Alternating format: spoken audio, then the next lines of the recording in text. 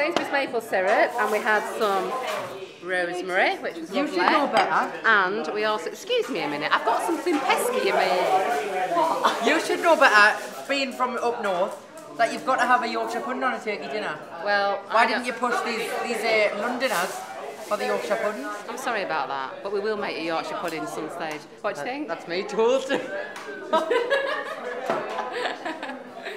Those look really nice. I'm just going to put a little tiny bit more syrup on them. Right, just a little bit. Where was that? Right, watch this.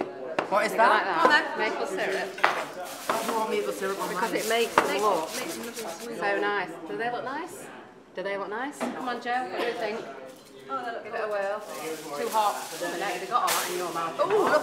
Oh, you're dribbling. Oh, when you're young, you sort of spit your food out when you speak a bit. We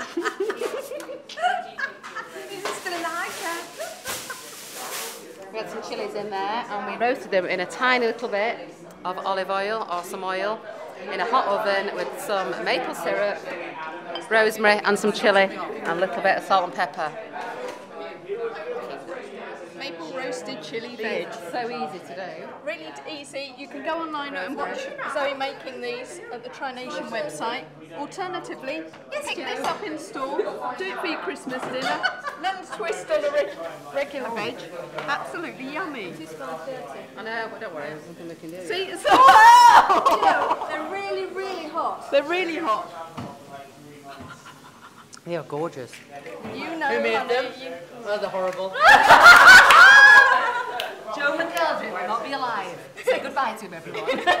Out of the door.